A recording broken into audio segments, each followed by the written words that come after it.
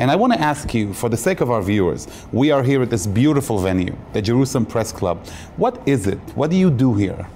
So first of all, I just I want to take you back for a second to what you were saying about about um, you know um, experience in working with the press. Right. Um, as an 18 year old, it is it's it's easy to say, oh, the press should be reporting about this, and you know it sounds different to what my, my, my own views are. But until you work with the foreign press on a day to day basis, it's kind of hard to understand both sides. So I think that's something that's important to, to, to point out. Maybe we'll get back to it in a little bit. Uh, but the Jerusalem Press Club itself uh, has been around for almost a decade. It was founded by our Director General, Uri Dromi, who was the spokesperson for the Rabin and Peres governments in the 90s. So he's, he's seen a lot. Um, he came to the conclusion that what was really missing uh, from from the scene was a kind of home away from home for the foreign correspondents covering covering Israel, uh, a place that would allow them to discover the country in the eyes of the individuals uh, who represent all of Israel's communities and not limiting them to maybe politically tainted views or otherwise. Uh, and that's what we do here at the club every day. We conduct briefings, uh, tours, interviews, and even social activities for the foreign press covering Israel in the hope that we could actually bridge a kind of gap that has been created between existing assumptions about Israel and the experiences of those who actually live in it day to day or even those who choose to live in it. Uh, so that's what we do here at the club, and I think we're doing a pretty good job. I have to ask you. Um, just just to make one point clear for our viewers, you are not an Israeli governmental no, agency. No, no, no, absolutely not. Yes, I, I, mean we, we were we were established by somebody with experience in government, but I think it's that experience that helped him realize that there was that there was really a vacuum for uh, for you know, messages of Israel from the bottom up. Uh, we don't have any backing from the government. On occasion, we, you know, we can do some some joint programming, but um, all of our all of our donations come from, you know. Uh, from Zionists abroad, uh, and it's really important to make that clarification. We're entirely independent, and we like to keep it that way. I think that's what makes us credible in the eyes of the journalists. And for us as a team, you know, we have we have varying views um, uh, between us. Uh, if, if an election were held today, I can tell you that uh, people probably would vote differently. We each come with our own views, and, um, and I think that's what gives us a lot of strength. And what's your relationship with similar organizations abroad? Similar organizations abroad. Who provide service for journalists. Mm. So, first of all, I want to say that it's really important that this community is made up of a number of different organizations. God forbid there was a single organization working with the press, because that would just, you know, I don't think that would show uh, what the tr- what true Israel really is. Um, in terms of our direct relationships with them, we have a number of joint programming. Um, a lot of times, we'll we'll host delegations from uh, from different countries that are brought by different different NGOs, which I think is just is just really amazing because it allows us to really echo the message uh, rather than only being you know the sole the sole actor on the scene, uh, and really you know just just capitalize on the on the goodwill of all of the the really amazing work being done out there. You know, there are various agencies working with international media. You have, you can think off the top of my head about Israel's foreign ministry, about the government press office, and others. What makes you stand out in the services you provide? What's the, the gap that you're filling through the work that you do? Well, look, I think first of all, obviously, every every government needs its spokesperson. Every every office needs its official official um, official mechanisms. Uh, we're not a replacement of that.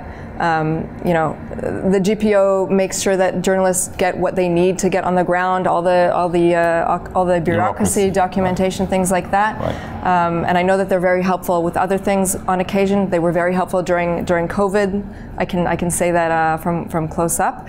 Um, but I think we give them something a little bit different that that a government office can't offer them. Uh, again, what society brings towards uh, towards uh, towards the uh, story. And the, um, the, the kind of services that you provide, what do they need? When you're talking about these services that you provide international media, and I want to emphasize, it's not just media that's here in Israel, right? It's right. anybody in the foreign corps who is interested in covering what's happening in Israel, even if they're not physically here. Right, so uh, I'll get to the audience in just a second, but first I'll address your first question on, on the, the services themselves. Um, it ranges from content uh, that is in English that we, we provide to them that we provide for them that they might not be able to access on their own. It, uh, it comes, services also come in the form of, of facilitating, uh, facilitating interviews or facilitating um, uh, relationships, connections between Israelis and themselves. It's getting, it's helping them get to know stories or other kinds of uh, activities um, that they wouldn't have heard of. I would say that a lot of it comes with, from a language gap because, you know, as, as good as the English level is of this country, and a lot of people don't necessarily have that confidence to go on camera or, or to go on the radio or whatnot.